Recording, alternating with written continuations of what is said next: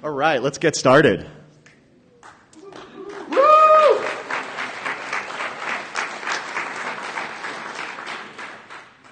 All right, thanks for coming, everyone. This is Configuration Management on Managed Workflow. My name's Moshe Weitzman. I'm a longtime Drupal contributor, uh, now working for Acquia as the uh, Director of Research and Development. Um, my co-presenter here, Matt Cheney, um, is a distinguished Drupal community member for many years um, and uh, founded Chapter 3 and Pantheon. Um, so uh, Matt's going to kick us off. Awesome, everyone.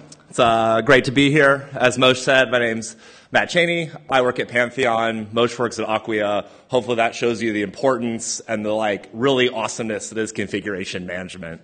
That I know you're all here because hopefully your favorite feature in Drupal 8 is configuration management. It's certainly mine. It's certainly Moshe's. And we think that this is going to bring in a sort of new day for developers. It's going to allow a lot of really awesome new things to happen in Drupal. And it's something that is, in fact, going to happen in about two weeks. That if you saw Dries' keynote this morning, I hope you were all there. We will have an RC1 in two weeks' time. The long wait is over. We'll have that release candidate, and the next time we gather together for DrupalCon, be it in Mumbai or in New Orleans, we'll be using the kind of technology and techniques that we'll be talking about in this presentation on a regular basis. And that's awesome because this is something that, for sort of a little bit of throat clearing, if you had been at DrupalCon Amsterdam, I gave a similar kind of talk on configuration management. And it was sort of like, hey, it's all happening then. Um, we've updated this talk, of course, added a little Moshe magic, added some new updates. But that, you know, this is, a, this is my favorite feature of Drupal 8. It's all happening, and I think it's going to create Drupal 8 as a professional and really robust content management system that fits modern development practices and lets you, me, and everyone in this room build really awesome sites. So, just with that, I'll sort of put that out there. This is awesome. I'm super excited about it. I hope you are too. The goal of your presentation is to make you be like, configuration management is awesome. I want to use this for all my projects right now. And it's important because configuration management solves a sort of problem that has existed in Drupal more or less since the beginning. That we have a world of content management system where you really have these two different things. On one hand, we have the configuration of the website. That's sort of the feeds and speeds that make the website as awesome as it is. It's the content types that define what kind of data we're storing. It's the image styles that define sort of how the graphics will be presented, the different fields on the data, the listings of the data, and any of the settings that you click to make Drupal do the kinds of things that you want. And this is awesome. This is actually one of the really powerful things about Drupal is that we as developers basically can click our way and work our way into building a pretty awesome site. And that's the configuration. That's done by professionals who more or less understand Drupal as part of their development process.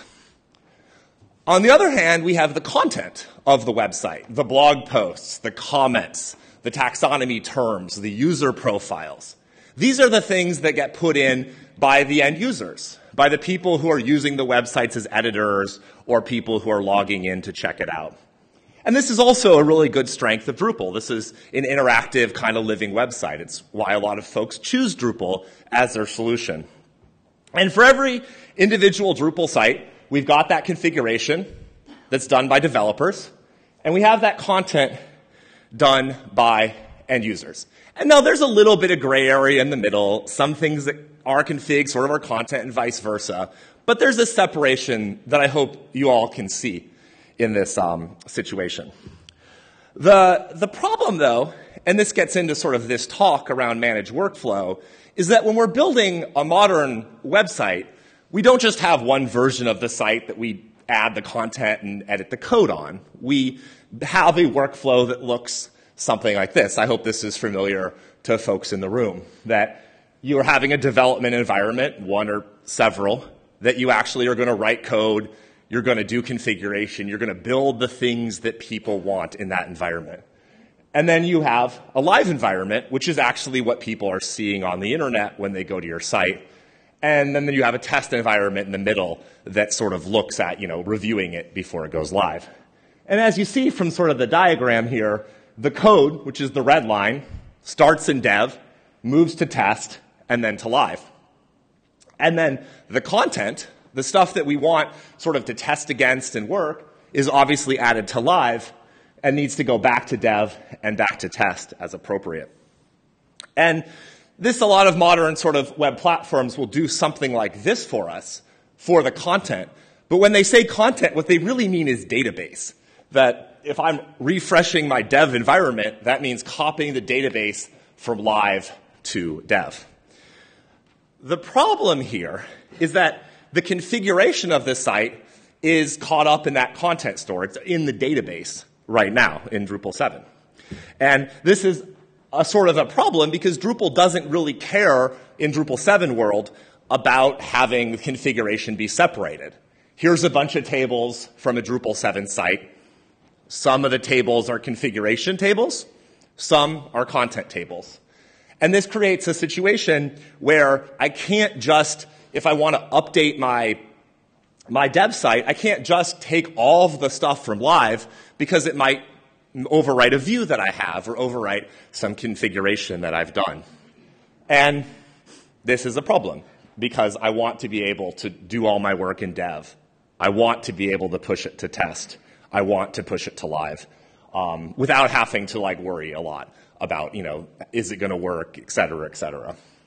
And that Luckily, we do have some solutions to this problem. I assume most of us in the room who are interested in configuration management are probably used to using one of these two methods right now.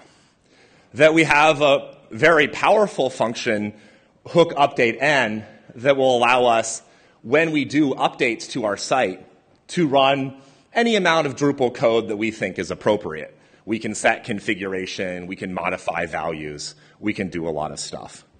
And that's really cool. That actually will, in fact, let us put configuration in code. I've seen some projects that have literally thousands of these kind of update hooks because they're doing a lot of updating every single time. The problem, though, is that hook update n, it requires a lot of work. You have to write each update function yourself. You have to test it yourself. You have to use the Drupal API, and it can get a little crazy. This is just an example from a, a module that just sets a bunch of variables. That's a pretty simple case. Doing more gets to be a little bit wild.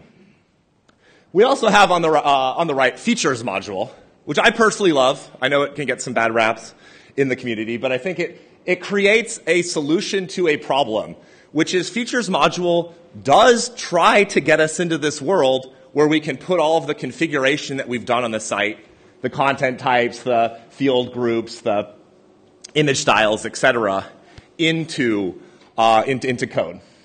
And that's cool. There are a lot of successful Drupal projects that use features to put their configuration into code. And that's cool. The problem, though, uh, and this I slide from last year, but I love it so much, is that features wasn't set up to be a management solution for like all your site's configuration. That was not what it was supposed to do. That it was set up to be like a, a tool to like share like packaged like image gallery or slideshow or, or blog system or news system in your site. It was, was made for a Drupal distribution called Open Atrium, which is fabulous, but it was designed to be sort of a way to share stuff within Atrium. Um, but it had this opportunity to grow into something bigger because it did in fact put content types and, and views and stuff into code in a somewhat unified way. The problem though is that it ends up getting blamed for a lot of problems, sort of like uh, says Commander Worf from Star Trek, much like Worf got blamed, his fathers got blamed for a lot of problems uh, Khitomer, is that features is a contrib module. It's not a core solution. So it's constantly trying to work around what Drupal core will provide. And there's limitations in Drupal core about putting stuff in code. That Drupal core doesn't, by default, doesn't use UUIDs to reference various things. It uses incremental IDs. Well, the problem is that if I have a dev site that has an incremental ID and a live site that has an incremental ID, they may not be the same, which will cause me problems. The other thing is that features module, because it's supporting a bunch of other contrib modules that all are doing the config in sort of their own way, features module sort of has to, you know, work with views, it has to work with core, it has to work with a lot of different kinds of modules to make it all work right. And it's constantly chasing those modules. The module updates, it changes its format a bit, features has to change. And this creates a little bit of confusion. So if you use features, you're definitely familiar with, you know, little variations of the code, sort of struggling to get it all right. Um, I was talking to someone yesterday who was, or two days ago, who had had a site that didn't have features on it, and they were tasked over the course of like six weeks to put it all into features. And he's a smart guy, he has a good team. They worked on it. They said they got 95% of it right um, into features. And I was like, oh man, like, they're like, well, it's a complicated site, a lot of things, a lot of custom stuff. But that's a real problem. That's sort of a legacy kind of problem of this config and content not being the same thing. And this causes us trouble for developers. Drupal 8 obviously is going to be a little bit better. And I say that because, so one of the things in, in Klingon society is that if you're like a Klingon and you get dishonored, like it's not just your dishonor. Your the uh, dishonor extends for, for seven generations into your family. But I feel now with Drupal 8, in the eighth version, we can be free of this sort of, you know, distinction. We can move on from that and we can have a solution for creating configuration and code that doesn't take six weeks, three sprints. That's just one button, export all the config. And sort of how we got there, how we have this system, starts with uh, Pinball Wizard, Greg Dunlap in 2011, who basically came to the Drupal 8 process and said, we need to put our configuration in code. Because Greg's a smart developer, he's worked at a lot of big Drupal companies, a lot of big Drupal projects, used features, and he saw that the solutions that we had in, in the Drupal 7 world were inadequate. We needed a great solution to put all of the configuration in code and have it be a core solution that's there by default, that everyone has to use, that makes it easy and consistent. And he got a lot of help from a lot of smart people. People like David Strauss, Alex Pott, Matthew Tift, XJM, Tim Plunkett, The Sun, all came together and sort of brainstormed a lot of ideas. Like, how are we going to do this and how are we going to make this work over the next three years? And they looked at a lot of inspirations, things like Jenkins that has a, a pretty cool configuration export option. And they basically said, what do we want to do? We want to something fun. We want to put all the configuration and code in a standard way. So what we need it to be the YAML time. So I know these are camels. Um, but the idea and sort of the, the crux of the Drupal 8 configuration system is that on, on the sort of data level, it is possible to take any value that is put into Drupal as configuration and export it out into a YAML file. And a YAML file, I'll show you it in just a second, but it's just a structured data file. It works like XML um, in that respect. And what's really awesome about YAML is that it also exists in just one place. That in the world of features, you can sort of have multiple features that have the same value for the same, or the same value but like different values, and it can have conflicts and overrides and stuff like that. In the case of configuration management, you have just one place that keeps all of your configuration, and you have this sort of, this sort of authoritative version. So here's the YAML file for the, the, the system information um, uh, field settings in Drupal. That you have a title for the site, Drupal 8 CMI demo, for example. That when you put that into a YAML file, that is the configuration, is the configuration, is the configuration. It uses a model called declarative configuration that says, for system site, yeah, system site name, that's the value, you know, full stop. And that's really awesome because we can now have this like central place that defines all the configuration. That we can take a form like this that has all the site information. You know, this should be familiar to developers uh, or folks using Drupal. You have the different fields. These do different things in Drupal. They all can be represented here in this YAML file. And YAML was chosen for a lot of reasons. Um, Symfony really likes it, which is good. But also, it's pretty readable. Like, if you compare this to like features code, for example, night and day difference. This is, is pretty clean. It diffs really well if you sort of look at it in a, in a sort of diff situation. And it's the kind of sort of human readable format that we, we, sort of, we sort of like. I did a work for a sort of simple page like something like this, but we can also have other kinds of things, settings in it. In fact, we have all the settings in it. Here's the uh, blog type on the left. Uh, this is, you know, type of blog, you know, description, this kind of thing. And then we have a field on the right. And you can sort of tell from some of these values, these are the things that you would be setting, setting in the UI. In fact, you have files for everything in the website. This is actually just Drupal core for Drupal 8, all the different files. And you can sort of see the, the pattern, you know, system.something.yaml. And these are sort of separated out for, for what's happening. And so this is how we store configuration in, in Drupal 8. Um, it's by design, works pretty well, and it's awesome because the great thing about having your configuration in files versus a database, let's say, is that I can put this in version control. I can deploy this as part of my workflow. I can make this something that I have a commit hash for, that I can do tests against, that I can be engaged with. That this, the configuration works the same way, the commit, the code, as, as theme changes I make, as module updates I make, and stuff like that. And that's really powerful. That allows a lot of things you'll see in Moshe's demo and the benefits of what we're doing. So, does that, does that jive with people? We pumped? It's good? Okay. Like that. I like that. I like that energy. I know it's, I know it's morning. I know we're following Dries, which is a hard act also. But I'm tall, so I'll, I'll pull, do the best I can. Okay. So all our stuff's in, in files. That's great. So like, what about the database? Like, how do we use the database in configuration management? So this actually changed a little bit. The original design for configuration management just had the stuff in files, and that was how you did it. Problem is, reading like all these files can be sort of expensive, not always best. So the way that you use the database in configuration management is that the database is sort of your runtime data store. That when you sort of save values from the web form, it doesn't just write files every single time. It actually puts it into the database. It's sort of your runtime configuration. It's only when you actually use the import export operations that Moshe will show you that you actually then push it out to the file system. And the place where it goes in the file system is defined in settings.p or is defined um, in settings.php. Basically, here is the directory that the configuration will live. All this, all this stuff goes in to a place you define in settings.php. By default in Drupal 8, it's been it's put into the files directory. It's uh, files config underscore, then it has like an m time kind of security hash. And that works for the sort of minimum use case. If you're just on a shared host or something that's not using version control, you can still install Drupal 8. You can still have all the files sort of be pushed out or config pushed out in the files directory. Totally works. But the problem is something in the files directory is typically not put in version control. We don't want to do that.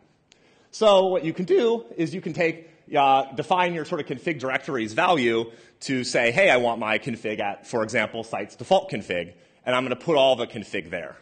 And then that's something that now can be put into version control, and it could be, you know, set up as, as, a, as something to, to look into your managed workflow. And this is the power of configuration management. The ability to say, I'm going to treat a click on my view the same way as I treat a custom module that I wrote. They both exist in code. They both have Git, Git hashes, and they can both work through a managed workflow. So that's sort of my razzle dazzle. Started off. Turn it over to Moshe to actually show you how this stuff works, and then we'll go in and do a little more talking about some of the benefits. But let's go.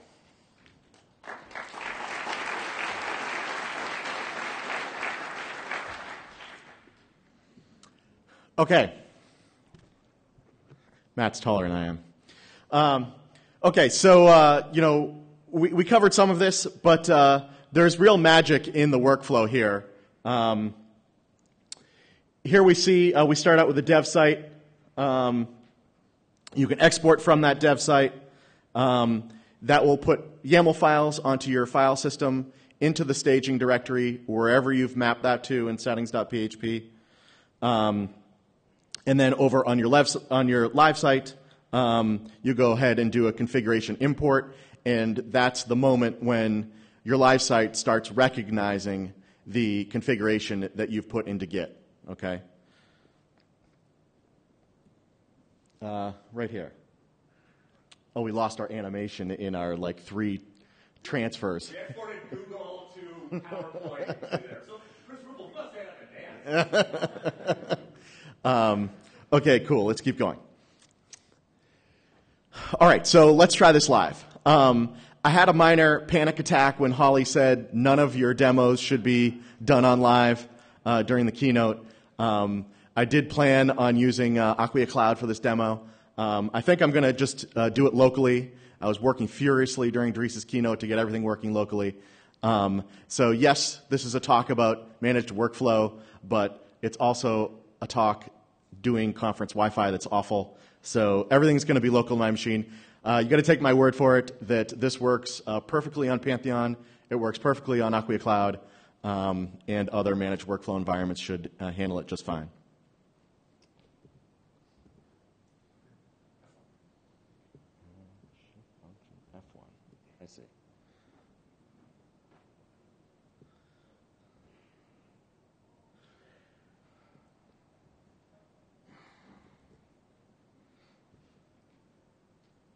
Okay, cool. Let's do this.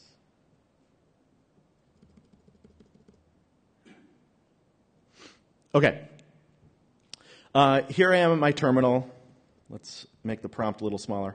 Um, I'm on my local machine in a Drupal site um, called D8. The directory is called D8. You can see there at the bottom. Oh, yeah, you, you, hopefully can see. Um, is the font big enough for people? Good. Okay, I get thumbs up in the back. Um, okay, so let's call this my development site. The other local site that I'll show you in a minute is the uh, testing site. All right, and I'm going to show you how to move configuration from uh, development to testing. Um, and then testing to live would be the exact same process, okay? Um, okay, so uh, the first thing uh, that I've done as a setup is I've installed Drupal.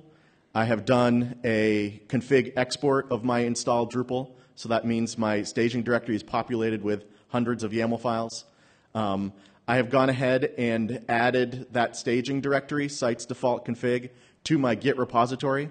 Um, so that's now uh, being managed by Git. Okay, uh, it's the same Git repository as the one that's managing code. Okay, so the solution that we're recommending for managed workflow is there's only one repository, right? In case people weren't clear about that. Um, okay.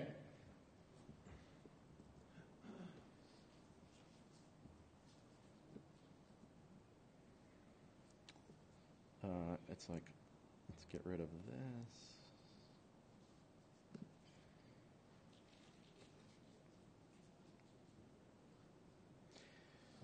Okay, um, let's export from this site, or let's make a configuration change.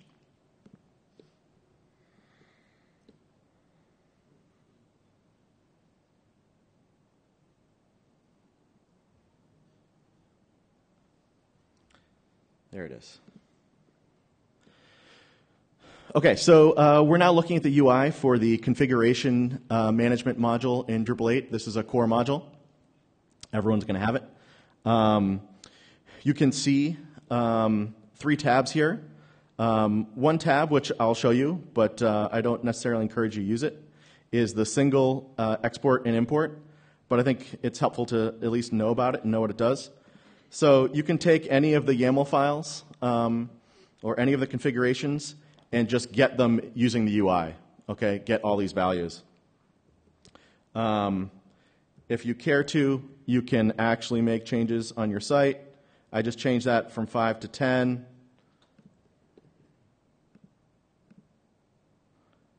And I don't remember what the name of it was that I had, actually. So that's not going to work too well. Let's do it again. I'm on import. Contact.settings. Exporting. Now importing.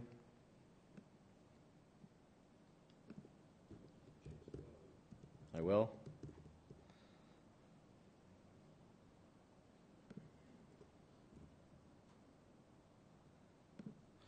Okay, so if you don't like the Drupal forms, you can use other Drupal forms. Um, so uh, full import and full export is closer to what we're recommending for um, managed workflow. Um, what these uh, tabs provide is you can go ahead and get all of your configuration as a tarball. Okay, um, it's useful. You can see it downloading there um, at the bottom of my screen. Um, now, let's say if I have, uh, like, this is one way to go from production. You grab a tarball and you take it to your dev site and you can put it in the directory, the staging directory, and commit that. And now you have taken all of the stuff that was done in production and put it into your Git code. So um, it's a handy tab. Um, and uh, similarly, you can import one of these tarballs using the UI if you care to. Um, the way that uh, we hope people are going to use this is actually to use a few Drush commands that we've added. Um, so if you're using the latest version of Drush, um, Drush 8, uh, you will find um, a bunch of, of config commands. The ones that I'm going to show are called config export and config import. Okay? Okay.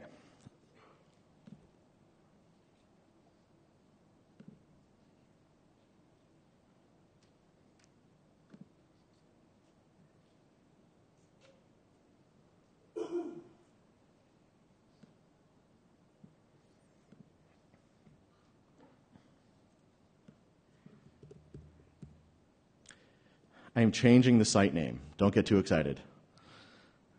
Uh, the new site name for this dev site is Barsa.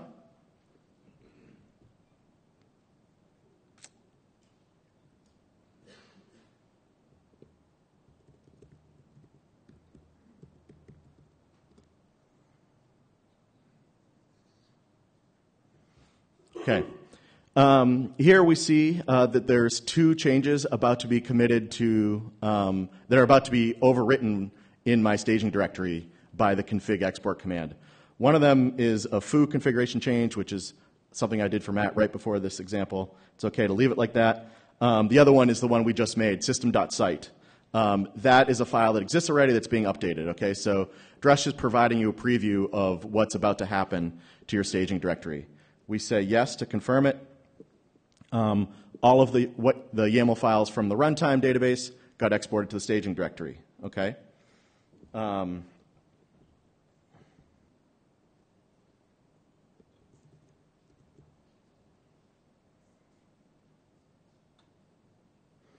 okay, so we see that uh, there's one modified file, um, sites default config system.site.yaml. All right, so Git has told me that there's one pending modification. Let's go ahead and commit it.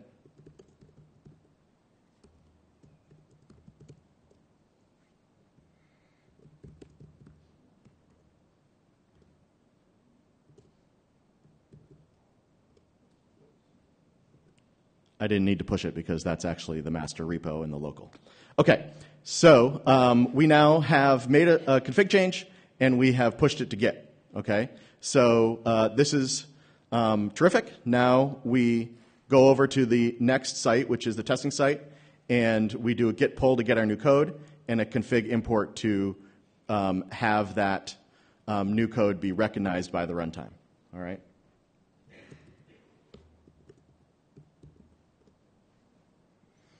I switched over to the other site, that's D8 test, okay? Um, and continuing in our terminal with Drush.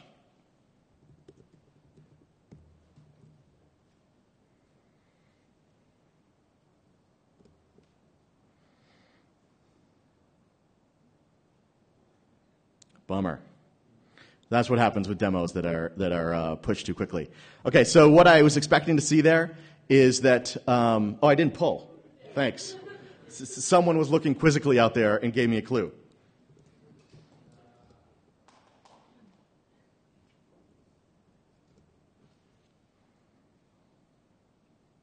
Okay, that's better.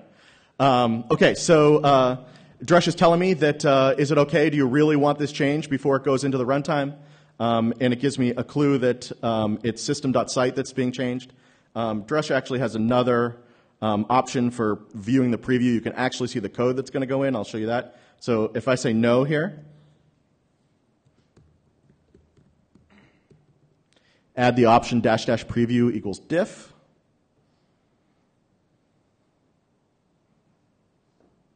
I get a diff, okay, um, with the usual um, unified plus minus stuff that says the site name is changing to Barsa. Okay? If I say yes,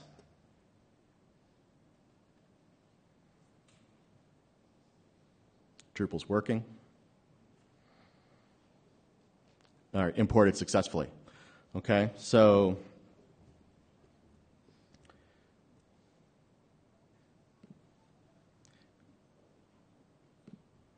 um, the site name is changing from um, site install to Barsa, we hope. There it is, right up here. Okay, so um, that was using two Drush commands, only two. All right, um, it's not a ton of things you have to learn. Um, and uh, we have sort of had Drush and Git doing a happy interaction here, uh, such that we're taking that staging directory and using it as a way to move configuration through sites. All right. Um, so uh, that's really the demo. I'm going to switch back to the slides. Uh, i have a little more time. I'm actually going to do uh, more complex, um, just to show you something more exciting than the site name. Um, so uh, let's go back to our dev site.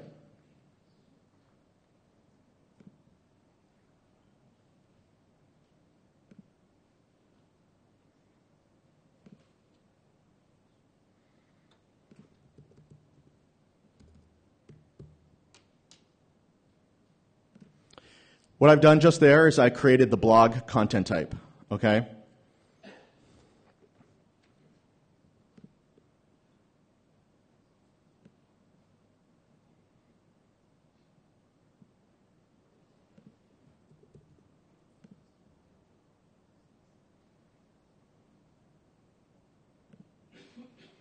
I've added a picture, an image field uh, called pic to the blog content type.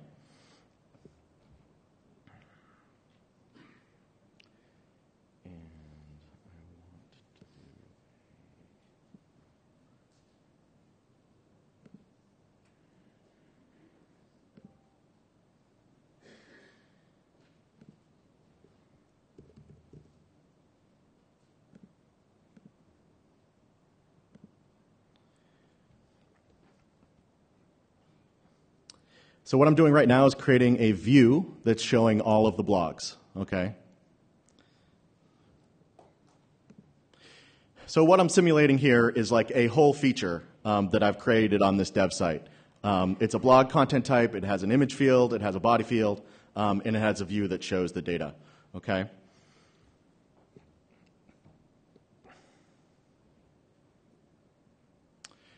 If I go over to um, my terminal now, uh, switch over to the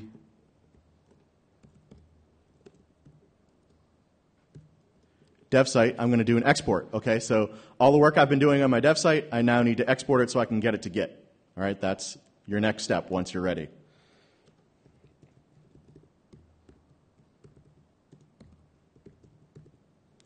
I'm going to show you a new option here, um, dash dash commit. All right. So um, if you're feeling kind of confident, um, you can have Drush go ahead and do the commit for you. Um, so it's doing the Drush work and the Git work for you. All right. We're still going to get um, our prompt from Drush to say, "Is everything looking okay?" Um, and you can see all the stuff that all the YAML files that are getting created uh, based on that blog feature I just made. All right. I'm creating the node type, obviously, uh, a body, a picture um, more picture stuff, and um, then the form modes and the display modes that got created um, for my blog content type, and finally at the end, the view, all right, the configuration entity that is the view. So all that stuff is about to go into Git. If I say yes, oh, it just did it. Cool. I think dash dash commit means keep going. Um, okay, so just to show you, this is the last commit on my repo. Um, you can see that um, Drush went ahead and made a nice um, commit message that is basically the whole preview.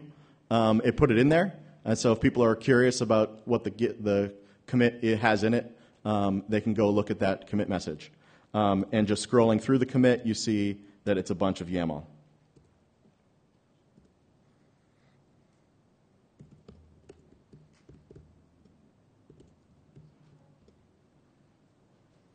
Okay, so switched to the um, testing site, the next site in the workflow, did a git pull this time, and now my staging directory is up to date. All right. Um, I didn't. Oh, something it said something wrong. Um, untracked would be overwritten. I don't care about that file.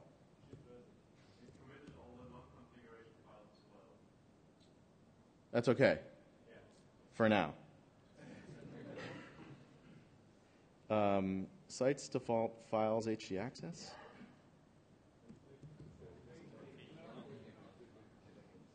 Sites default config.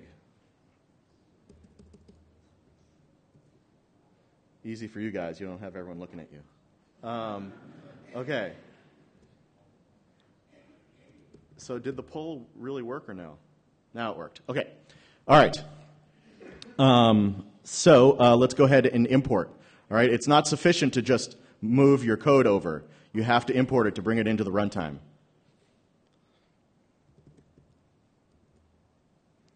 Uh, I had an idea to do it differently this time.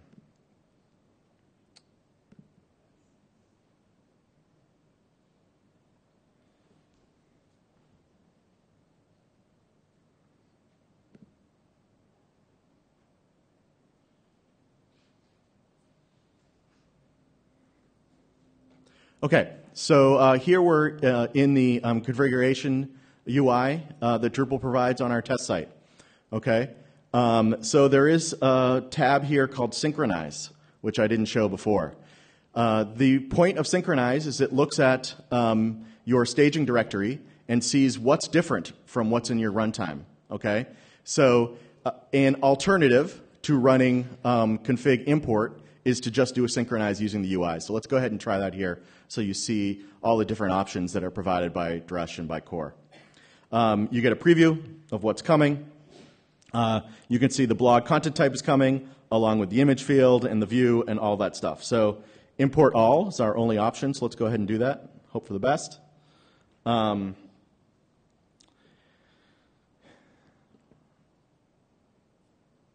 failed.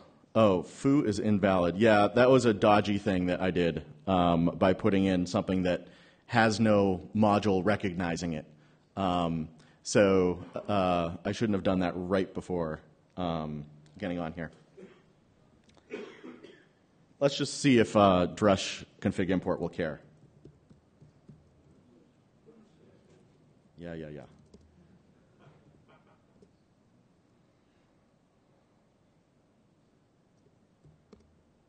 Can't do it. Same, same error.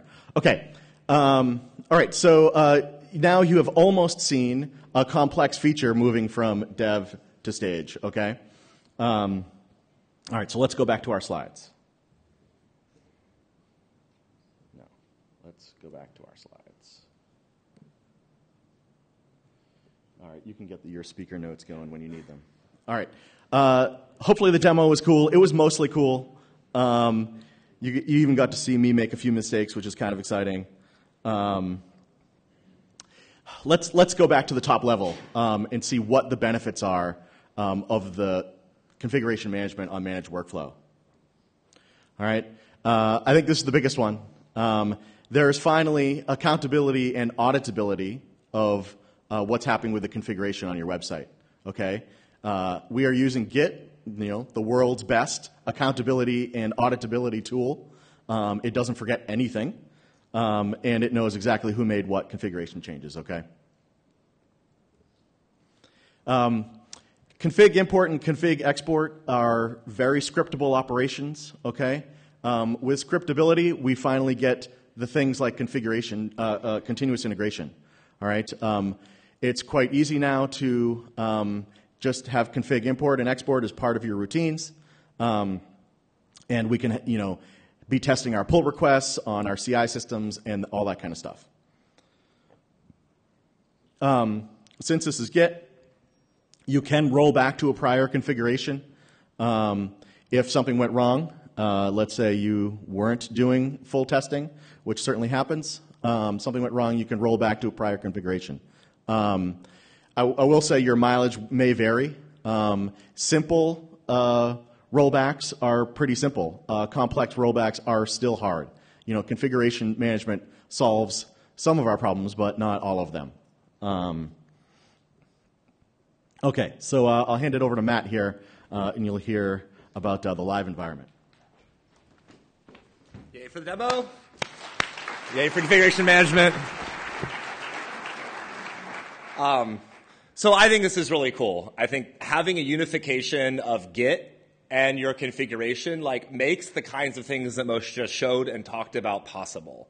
That we can have the, configura- the continuous integration run on all the commits. We can have a lot of confidence in our development process. And we can use this to do really, honestly, better and more awesome stuff. And I think that's part of the Drupal story is we continually build tools and techniques to make bigger and better and more awesome websites for everyone. I think configuration management is part of that story. There are a couple things that I want to sort of point out sort of in closing before we do some questions. Just so like when we show demos and sort of show the simple cases, they help show you how this kind of stuff works. There's, you do your config in dev, you push to test, you deploy live. Like that totally works. But there's this thing called the real world we live in where this isn't always the case. And this is specifically not the case when we're talking about sort of, uh, say, a, a, deployed project where we have a client or a customer or someone who wants to also make changes to the live environment. So say we have a website, customer has, you know, has paid for it, has worked on it. Um, they're like, I'm just going to edit views in, in production. This is what Drupal's for, you know. Um, and they're going to go do a bunch of config on the live environment. If you as a developer don't realize that or don't care about that, and you then go to make, make some new, new stuff on dev, push it to test, and import it to live, what you effectively do is blow away all their work. This is a problem. Um, and that this is something that sort of configuration management doesn't really, because it's declarative, it has a hard time doing this. That if you make a commit that says the value for this is this in dev, you push it to test, you push it to live, and you import, live's just going to accept that value. It's not going to be like, oh, like somebody changed this two days ago, what's going on? So, but there are ways to deal with this. And there's sort of three ways I'll show you of how to deal with this situation where configuration changes have happened in the live environment and also in your dev environment. What do you do? Well, first option is you can just say no. I was going to use the slide of Nancy Reagan in the 80s, her anti-drug campaign, but I don't know if that works in Europe. Um, but there, uh, there uh, is a, is a sort of best practice, good practice that says, look, you can't make you can't edit, you shouldn't edit your theme or your module code in live. You shouldn't edit your config either. Like, just don't do it. Push it through the workflow, run it through the test. Like, this is best. And luckily, there's a Drupal 8 module for it. Uh, mod, uh, project config read only. It's um, being worked on this week. It's not super crazy as a module. It basically just says, hey, if you put something special in your settings file that says only have config read only, don't let people do config. So if you install this module and you like turn it on your live site, and then you know someone goes in and tries to edit a view, it'll be like, no, no, no. You must do that in dev. And I like this approach. I actually think it's pretty good for discipline. I think that's how you should work with a website. You shouldn't do the changes in live. So that's option one. Just say no. Use something module like this. Force the changes to go through dev. Problem is, that doesn't always work for everyone. Some people do want to do config and live. Okay, okay. Option two. Oh, this also is animated, but it was from Windows, so it's not that great. Um, so option two is you can have this process where if you're on dev and you're doing some work, you can sort of export out your config from dev, and then you can sort of refresh your dev environment. So you can take like the like the, the database from live and put it in your dev site and then you can um, do a config export again. This is sort of how it commonly works now with features and such. Like if you do have changes, you can pull it back to dev, put it into code. And whoa, whoa. and uh, and, th- and, there's some commands for that. There's a really great Drush command, SQL sync, that'll bring your database back. MySQL dump, of course, will do that. And then as a developer, you can do this process where you can sort of like set your changes aside, bring in the live, and then put it together yourself, and then you can push it up through the workflow. And I feel this is probably going to be the most common way people handle this problem. You know, because the developers were used to refreshing our dev environments, and we'll go, we'll go push the, push the code in that way. The problem is that we can run into some issues where we don't want to overwrite config. So if you do have something in live and something in dev, and they're sort of both existing, you got to be sort of careful when you do this. So there's also an option three, uh, which is just use magic to do this, which is great. Um, there's, a, there's a new drush command uh, called config merge that uh, is available at drush ops config extra. And it's basically a command that says if I'm using drush and I can specify my live environment with like a drush site alias, and I'm running it on my local environment, it'll actually go in and, and do a really cool operation. It'll say, let's connect to the live site. Let's export the config off the live site. Let's bring it into local. Let's export the config from local. And then we'll just take the two configs and we'll try to merge them together. And often this will work no problem. We got a view edited on live. Developers made a new content type. No conflicts. We'll just put them both in and commit them all at once. In the case where we do have some conflicts, which we will, um, this will bring up a, a, a visual diffing tool, KDiff3, and it'll actually say, okay, like, hey, the view's been changed in live and in dev. How do we want to reconcile this? And then we can actually make the decisions we want to make and do commits. So this is a little more advanced. You have to sort of set up the drush aliases. You have to have SSH and Git access to the server. Um, but it's something that I think is really cool. And if you're interested in sort of being using configuration management and you have changes in live and changes in dev, or for what it's worth, if you have two or three developers that are all working on the same stuff, you can use drush config merge to merge another developer's, you know, her, she's working over here, I can take her stuff and merge it with my stuff as well. So definitely, definitely point people to check out drush config merge. Sort of works like magic, which is awesome, but it is code. You can see it as well. And hopefully one of those three options will work to handle cases with, with live, um, live config. The second sort of last uh, thing that um, sort of can be an issue is is sharing of configuration. Sharing is super cute, as my graphic suggests. Um, and it's something that we want to do. That part of the Drupal ethic is sharing the work you have. We want people to do cool config and share it with other people. Mm-hmm. It's, you know, part of like sharing code and such like that. The problem or challenge is that Drupal 8's configuration system wasn't actually designed for sharing very well. That if you take this as the export of all the YAML files, if I install Drupal 8, do a cool config, and then be like, hey, this config's awesome, and I export it all out and send it to you, if you go spin up a Drupal site and import it in your site, it's going to give you an error. It's like you can't use another site's config. True story. And there's some reasons for that. Um, but it, it, makes it a little bit difficult because I just can't take config from one and put it in the other very easily. Um, but we can do it. So, but this is a challenge we deal with. So one option that we can do to deal with is um, the drush config import command has a dash dash partial option. Um, that'll soon be available at this URL, uh, the drush 8, X8. It's only in the 8 branch, which isn't yet a drush commands, but it will, when it will be, it'll be there. And the cool thing about partial is that say I make a really awesome blog, blog system. I've got five fields, I've got a content type, I've got a view. I could export just those pieces, and I could end up with like five or six of these files, I could post them on my blog and say, hey, did you like this system? Do you want it yourself? You could put those files into a directory, run drush config import dash dash partial, and it'll actually pull all that stuff into your repository. And it will just work with those files. It'll just add that content type, that view. It won't be like, oh, there's not all the other content types, so delete everything, which is what Drupal would normally do. Um, so this is a cool way to share. And I can see a world where people are tweeting and blogging and posting little config stuff they've done and um, let people share it that way. So that's one way to share. Uh, pretty easy to use. Um, for what it's worth, I didn't even include a slide of this. You could also use the UI that Mo showed to do the import, where if you have five files, you could just go to single import one, two, three, four, five times. Totally possible. Second um, way you can share sort of config, and this gets a little more in the developer world, but if you write your own custom module, you can actually provide new configuration defaults for the site. So you basically make a, a folder, config install, and you put all the YAML files for the default for your module there.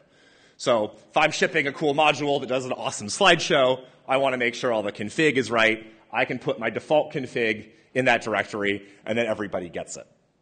And that's pretty cool.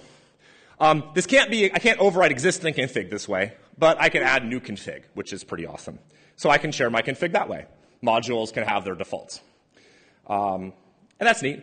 That works way better than like a variable get with like a default value that's a second argument that has to be always put in all the time. It, um, you just put it in this way. The limitation, though, of this, and this is very important, for if you install a module with default config, it'll only read that configuration one time at the beginning.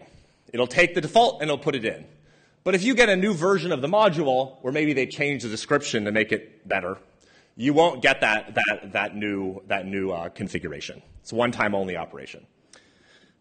Luckily, there is a module that will not make it a one-time only operation. Uh, uh, mod, uh, module config update. Config update will allow you, as a module maintainer, to have a module with config that will get um, if you update the config, it'll actually give you some, some interactive ability to then continually update that configuration. And that's pretty cool. You can have a custom module for your site that has some default config that you can keep updating, which is really awesome. And this module is the foundation for coming full circle in this talk to features module, which does exist for Drupal 8, is actually pretty cool. And the stuff I'd point out here is that unlike Drupal, the Drupal 7 version where features has sort of its own system, if you look in the menu of this, uh, of this thing, features is actually sitting in the configuration management menu. You have synchronize, which Mo showed, single import export, full import export, and features. That it's working with the configuration management system. So features is a lot smaller than it is in Drupal 7 because it doesn't have to do CRUD operations. It doesn't need to export or import its own stuff. All features does is use the config update process to update default config and allows you to make stuff like to make actual features. Here's my article system. Here's my news system. So if you are a person who likes features and uses it to actually share configuration between sites, this is still possible using configuration management. And in my view, it's better because features can, doesn't have to work with all the weird exceptions, just uses the config API. So a big picture before we take a few questions. I feel this is going to change how you do development. It's going to allow a lot of new things for developers to use. It'll make things like continuous integration much easier. It'll make accountability and these other things real for your projects. And that hopefully this talk has helped you to, you know, get a little more love for configuration management and make sure that it's your, um, you know, favorite and best feature in Drupal 8 because it's something I believe we'll all use. And if you like what we're talking about and are more of a developer and building your own modules, totally check out the great Alex Pott session tomorrow, which he's going to talk more about configuration management, but he's going to get more into the developer kind of kind of stuff. What's a configuration entity? You know, how do I write modules with this? Um, how do I deal with schemas? And getting to sort of some of the more nitty gritty about using it on a site. So if you want more configuration management, Alex is one of the co-maintainers of the system. He also knows a bunch of stuff. So definitely, definitely check that out tomorrow. Other than that, uh, we both thank you for your attention, and we'll take a couple of questions if people have it about our favorite system in Drupal 8. Thank you.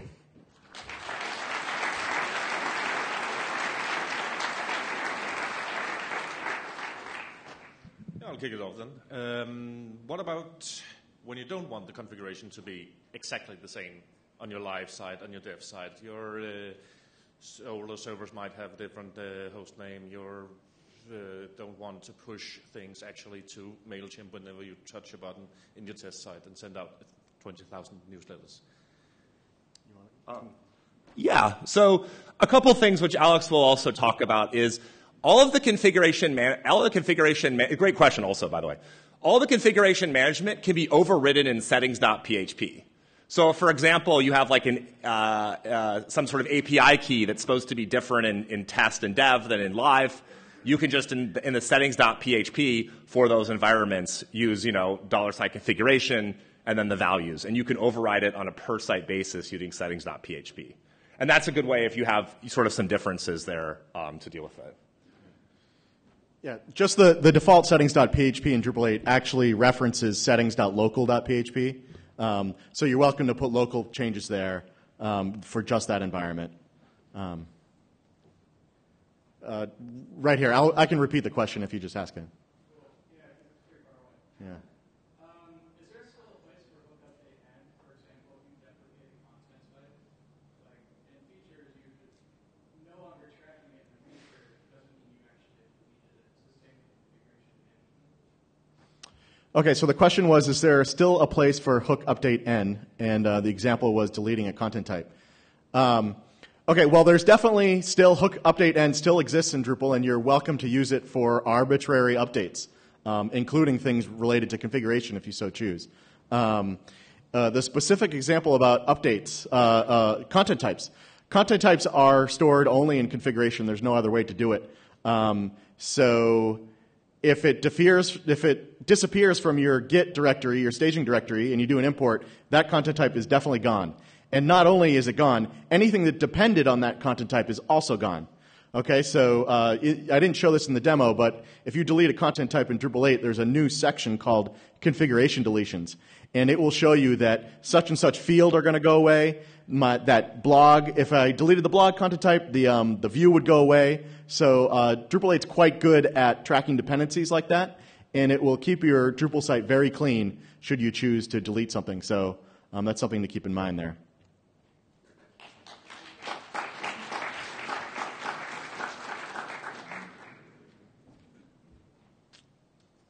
So how would you handle multi-sites? Is there like an inheritance system for like a base uh, config folder and with uh, all the subsites reading out just the changed stuff, not from the settings PHP file?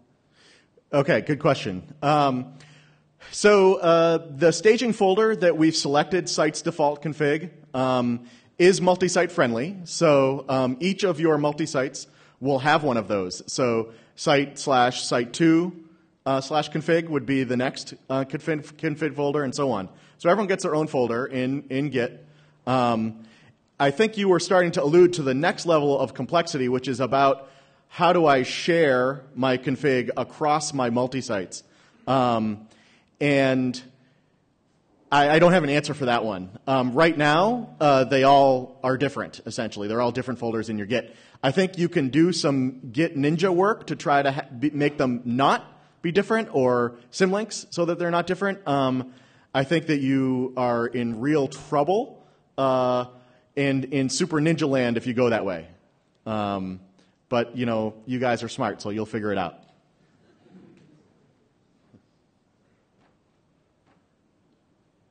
Actually, another question then about um, uh, the configuration scope. Uh, today on our Drupal site, 7 site, we use panels a lot. Uh, that's configuration, I guess, when you use the blocks in Drupal 8. I've not really looked into it. Um, is it uh, in configuration where this block is on this page and it's configured like this? Yeah, so like the as I said, the line between content configuration can get a little blurry um, uh, for it, and I, I, I, wouldn't propose to know exactly all of the different different things, but something like you know the specific maybe callbacks in, in Page Manager would be configuration, but maybe the individual you know, content that we're placing in the panel maybe config or something like that.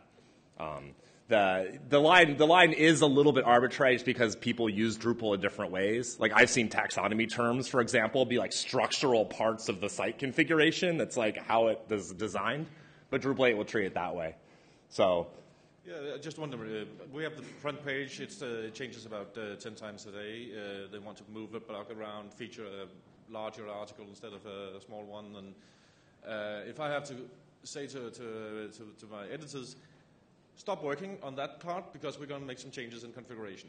Uh, we'll have it through testing and staging and in release in about three days. they're going to be mad at me. Yeah. Yes.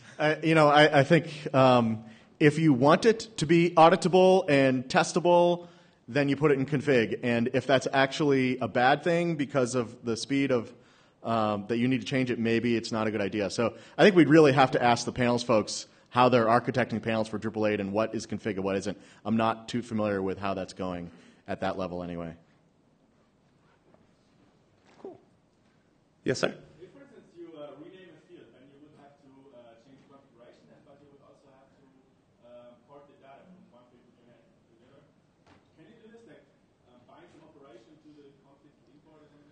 Yeah, so the, the question is if I change a field name for you know reasons I might want to change a field name, how do we handle that in configuration management? Because this could cause some trouble. Um, I think my first gut would be like renaming field field names, especially machine names, is a little tricky anyway in Drupal. It's not something I probably would recommend. I change the label for sure. But this could be a situation where if you do need to change a field name, um, that this is something where you could use like a hook update N function because configuration management won't support that operation for you. But what you could do is, as part of the update process, you could do actually some readjustment as well. Um, all of the configuration management stuff that we're showing, like config import, config export, all uses the configuration API. And you could actually call those operations outside of the module and outside of Drush. And so you could write logic that says, hey, get this data, get this config, change it in this way, resave it, modify the data. That's a more advanced operation, but um, I would say you can definitely use the configuration API to do, do all this all the stuff in your own code that we're showing in the demo as you like it. Yeah, I'll just add that, um, like in Drupal 7, the field API completely denies you the ability to rename a field name. Uh, it, it doesn't know how to migrate your data from one table to the other, and so it just denies it. So, uh, like in Drupal 7, you're on your own if you want to do that operation. Um, so. Um, other than that, we thank you all for coming to this talk. We're around all conference, and uh, if you have questions, questions, just come up here. We'll keep chatting. But um, everybody have a fantastic DrupalCon.